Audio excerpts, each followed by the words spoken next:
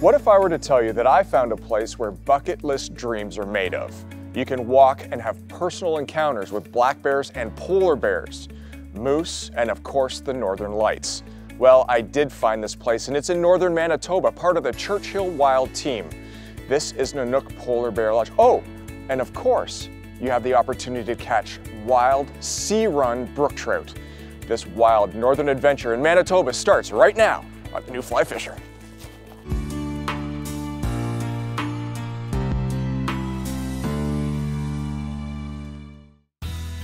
Welcome to Churchill, Manitoba, the polar bear capital of the world. A short flight from Winnipeg International Airport lands you in this quiet subarctic town known internationally for its large number of polar bears. It is called, after all, the polar bear capital of the world. People travel from all over the world to bear witness to the annual migration of bears along the Hudson Bay coast. This town of 800 residents is often visited by bears as the southwestern region of Hudson's Bay is home to between 900 and 1,000 animals. October and November are prime time to see the bears. However, we've arrived in September, and the migration has just started. And though the bears will be an added bonus, we're on the make for Sea Run Brook Trout, fresh from the ocean. We're at Churchill Wild's Nanuk Polar Bear Lodge, a fantastic oasis among the Arctic tundra. After an even shorter flight from Churchill to Nanuk, we got suited up and hit the river immediately, our mode of transportation being as unique as this adventure itself. An hour bike ride up the coast lands us at our first tributary. So this is Nolan Booth. He's the lodge manager for Churchill Wild. Nolan, what an adventure getting here this morning. Uh, where are we and what's the plan for the day? Today we're going to chase some brook trout. We've got uh, the Mistikokan River here. Uh, let's call it 10 kilometers, 12 kilometers from Nanuk Polar Bear Lodge. We've got resident brook trout. We've got sea run brook trout. It's going to be a lot of fun. We're going to get out here and see what we can catch. Perfect. I've never, I've never even fished for sea runs. I mean, that's that's a rarity around the world. Um, what, what should I do? What, what, what should I throw at them? West side of the Hudson Bay is incredible for sea run brook trout. The biggest thing here is we are the first people to walk up to this river and throw a fly today.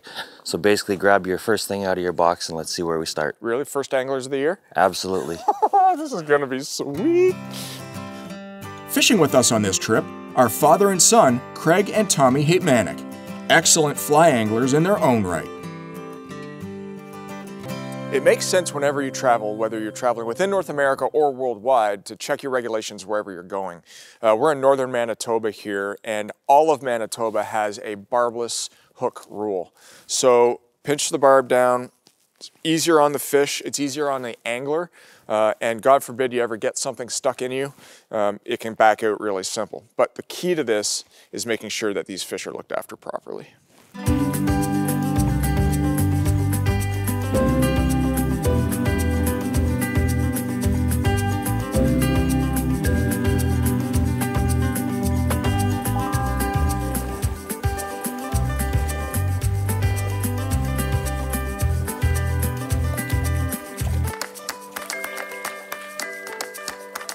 You know what? This is a sea run fish. Oh yeah? Yep. How do you know? So, so as you can see, when you look at him, how silver he is, I see that. right? No color, no orange. You can barely see. It's the beginning of the blues around the red dots. And if we're lucky, if we look at him, you might be able to see some sea lice on him. If there's if there isn't any sea lice on him, that means he's been here in in fresh water for more than 24 hours. Okay. So tonight is the full moon, uh, highest tide of the month, and um, you know tomorrow fresh run of fish should come in with the full moon, and you're putting on a clinic today, man. Your first sea run brook trout.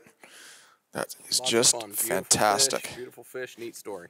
Very different, eh? Go when he wants.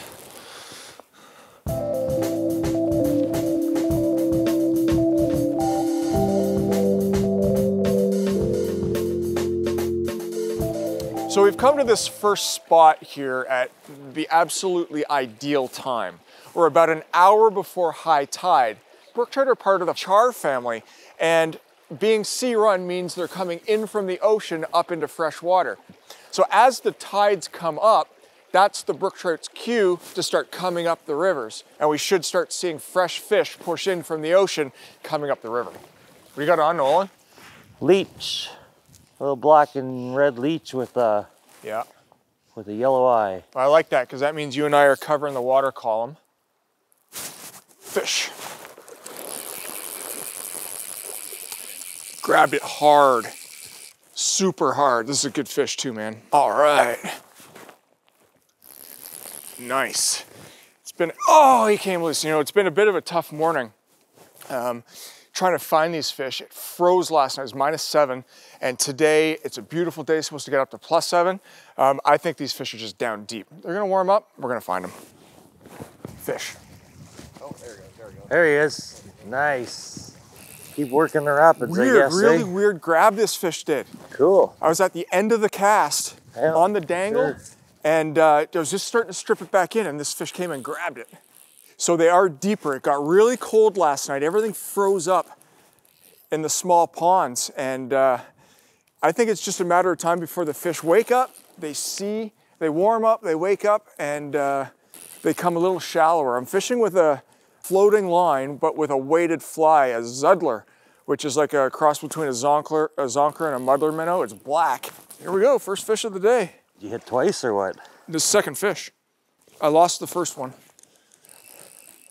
All right, if you wouldn't mind netting that guy for me. Oh, Beauty all right, fish. what a good one for the first fish of the day. Nice, man. Let's take a look. Oh yeah, that's sweet. That's a sea run, isn't it? Oh yeah. Yeah. My very first sea run brook trout. That's fantastic. Killer, man. Thanks. So what's the difference between sea run and um, and residence? Biggest thing you're gonna see is all the colors. So you got some color in these, lots more silver. When you get into the residence, they're gonna be bright orange all the way down them. All right, let's get a measurement, and then we can let them go. We got 10 and 10 and 10. We got a 20. 20 incher. Killer. Spectacular for the first fish of the day. Doesn't get any better than that. So that was a very interesting take by that that brook trout.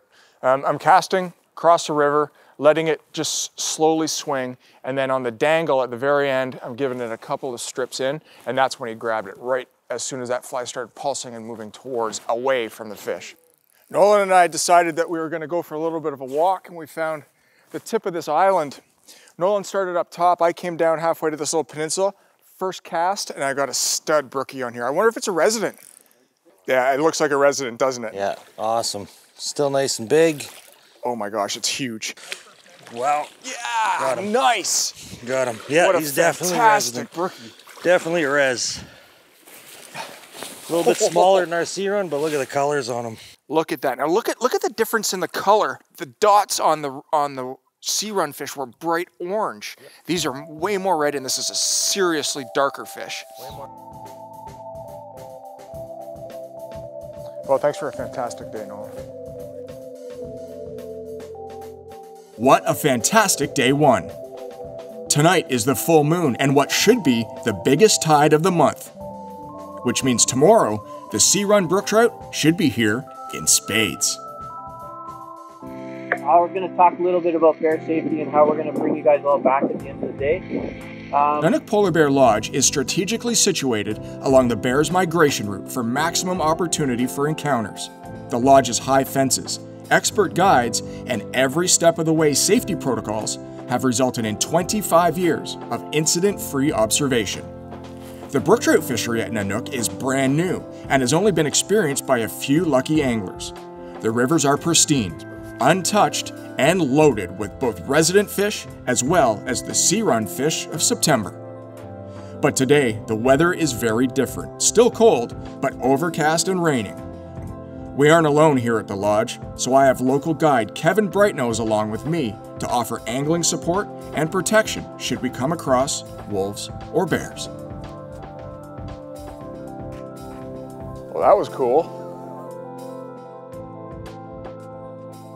I'm really having a lot of fun fishing this part of the river. It's, it's quite unique in that I'm able to fish three different styles, three different pieces of structure with one cast. On my left, I've got willows that extend well over the river, so there's a really nice undercut where these trout can hide.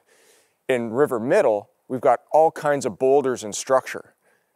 Fish are there, I know it. And on the right-hand side, I've got a grass island that also seems to have an undercut bank. So with a single cast, I can put it in the willows, bring it out, fish the undercut, let it swing across, fish the boulders, and complete the swing right over to the grass to be able to fish the undercut grass on River Right. This is really neat. You're fishing three different pieces of structure with one cast. You don't get to see that very often.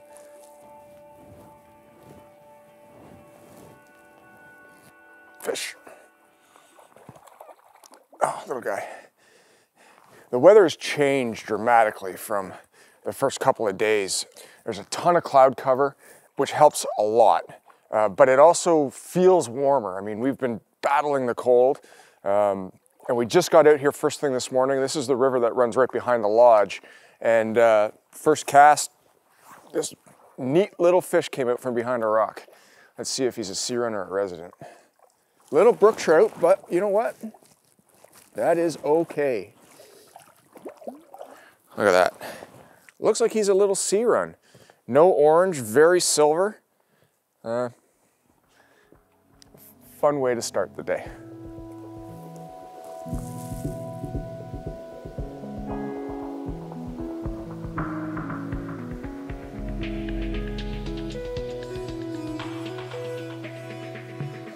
That's a fish. All right, what I thought was a piece of wood on my first swing through wasn't. It was actually a brook trout. And this one is a good one. So I'm fishing with a cone-headed black woolly bugger with a little bit of green in it. And it's a small profile fly, super small. Barbless, of course. We're here to catch these fantastic sea run brook trout.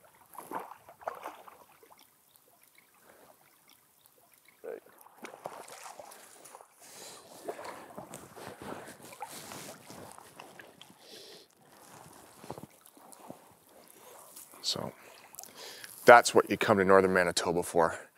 Sea run brook trout, fresh from the ocean, coming up, getting ready to spawn. 20 inch fish, absolutely fantastic.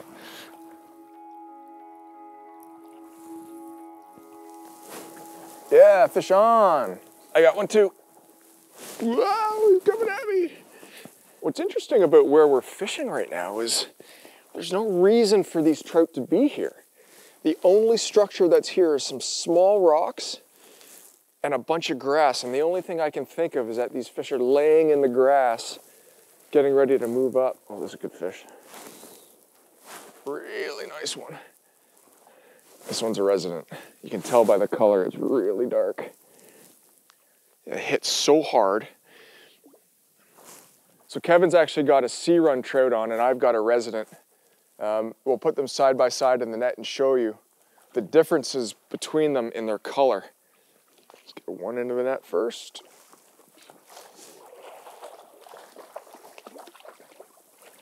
Two. All right.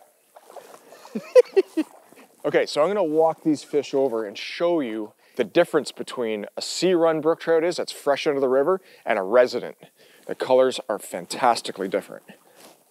So you can clearly see the difference between a resident fish and one that's fresh out of the ocean.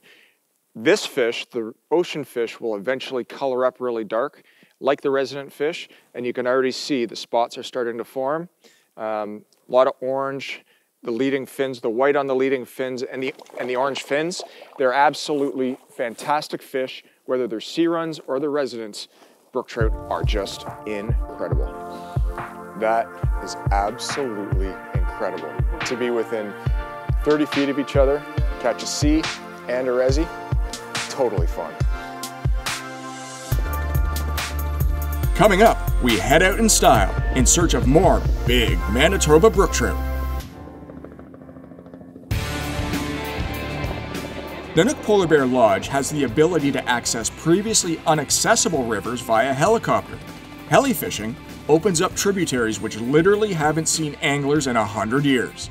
They are that remote. You do know how to travel in style, my friend. That was an epic ride in. That was a lot of fun. What's up today? Um, we're fishing. We're on a river west of the lodge, uh, probably about uh, 15 kilometers. It was a little tough to get here today, uh, but here we are. We're ready to start, and hopefully it'll be similar to yesterday. A whole Right. bunch of Bro- sea runs. again? Absolutely, sea Yeah. runs and residents. So. Well, I've got uh, a black bugger and a white bugger tied on. Let's see. Uh, let's see what the fly of the day is going to be. Absolutely. All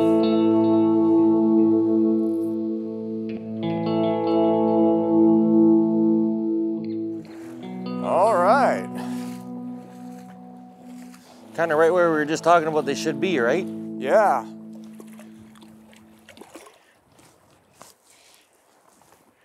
On a black bead-headed leech. Nice 12-inch fish. We've been hit with a bit of a cold front here the last couple days. It's getting well below zero at night, and it has affected the fish, uh, the residents anyway. Absolutely. The um, uh, the sea run fish are just starting to come in, and we're starting to see them now. They're a lot bigger and they're a lot more aggressive. Um, this water's freezing cold. I'm here to tell you. it's cold. yeah. Only and, place without ice today. And you know what? That's that's brook trout fishing, man. It's uh, sometimes it's all or not. And it looks like things are turning around. Hope so.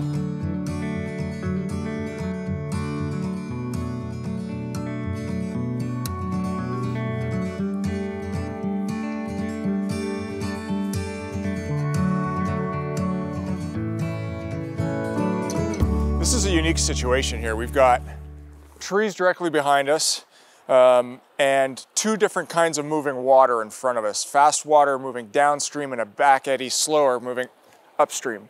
So what I'm doing is I'm using the surface tension of the water to do a reverse roll cast. I'm left-handed and generally my roll cast come off my left shoulder, but because of the situation we're in, I have to do a reverse cast. So what I'm doing is using the water to get that cast across the run. Then with a high rod tip to keep the um, line off the slow moving back eddy, I'm able to fish the entire run to swing it and hopefully catch a brook trout.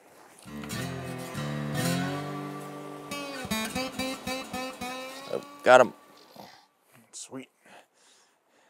A little resi.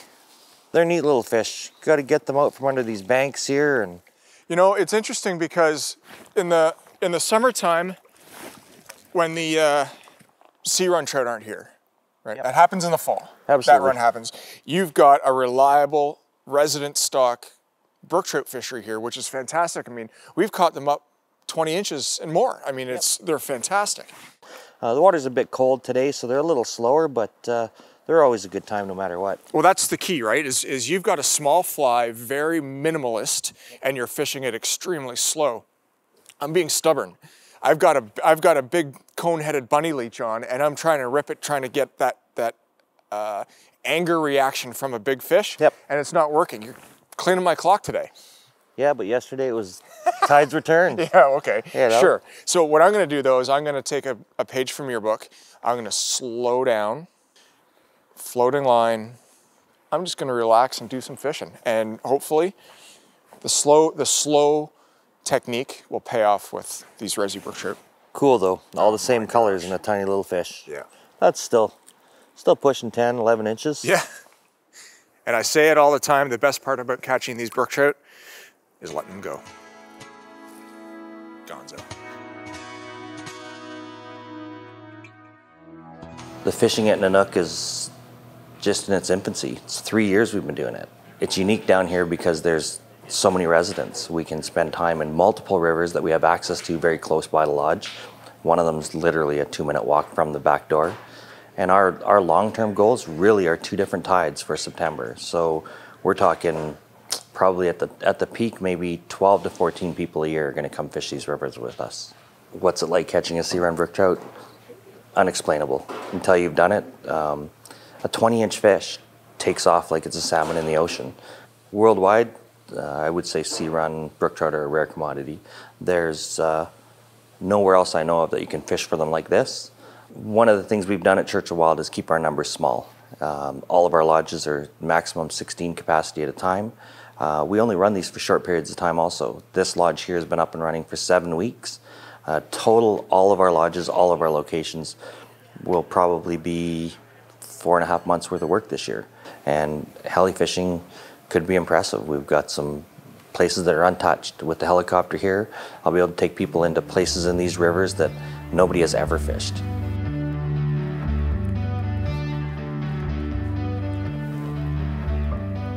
Man, that fish just hit so aggressively. I think it's safe to say that this weather funk is over and these fish are starting to brighten up and feed. Wow, super strong. There is a noticeable difference. I mean, both sea run trout and resident trout are super strong, but the sea runs you can almost tell right away. They're just that little bit more energetic and rambunctious. This fish, the way it's been told to me, has come in and hasn't even been in the fresh water for more than 24 hours. After 24 hours, I've been told the sea lice die and fall off the fish. So let's get them to net and I can show you what these lice look like. So the sea lice were on his dorsal fin and they've fallen off in the net. So I'm just gonna simply let him go. There he goes, gone.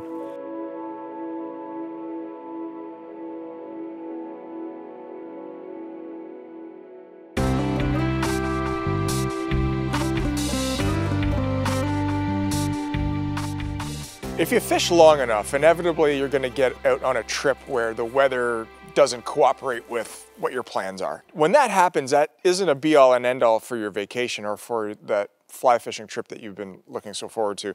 Um, what you need to do is simply adjust your tactics to what the fish are telling you. We started out uh, fishing fast, large flies, power fishing, if you will, looking for the aggressive fish to eat. With the weather that we've had over the last couple of days, dipping well into below zero, into freezing, um, the fish have changed their behavior. And what they're doing is they've gone really deep or they've gone underneath structures such as these overhanging willows. So what we're doing is I've got a setup of a um, 350 grain sinking line, sinking tip uh, with a short leader on it and a floating line with a long leader on it.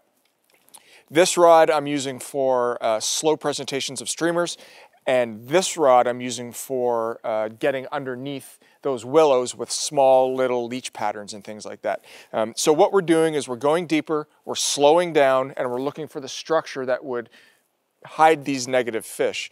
They will eventually turn on and they will eventually get hungry again. And when that does, and you happen to be there, it's gonna be lights out. Hey Nolan, what's the weather been doing the last little while up here? We've had two weeks of extremely cold. I mean, it's the first time in September I've seen ice on the edge of the bay. We never see that. Yeah, we get the odd night where you get a little bit of snow or something, but never where it's where there's ice building up like that. And there's chunks of ice out there that are six, seven inches thick. We get out here and the water up here is open, but it's definitely gonna slow these fish down and put them to the bottom.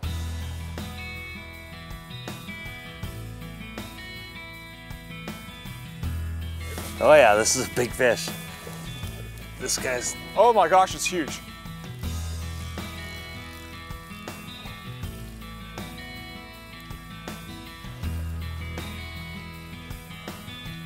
Oh yeah, beauty.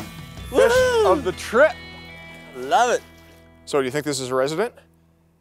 No, definitely a sea run. Look at Is how it? white his belly is.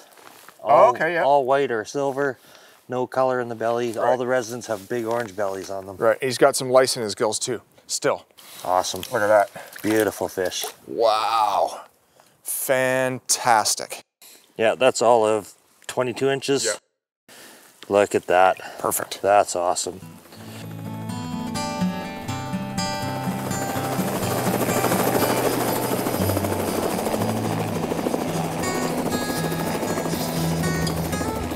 Well, that about does it for this episode of the New Fly Fisher. Thanks for watching. I want to thank everybody at Nanuk Polar Bear Lodge for their hospitality and their fantastic trout. I'm Mark Melnyk for the New Fly Fisher. Check us out at www.thenewflyfisher.com. Remember, adventure is out there. All you need to do is go and find it. And what better way than to do it with a fly rod in your hand?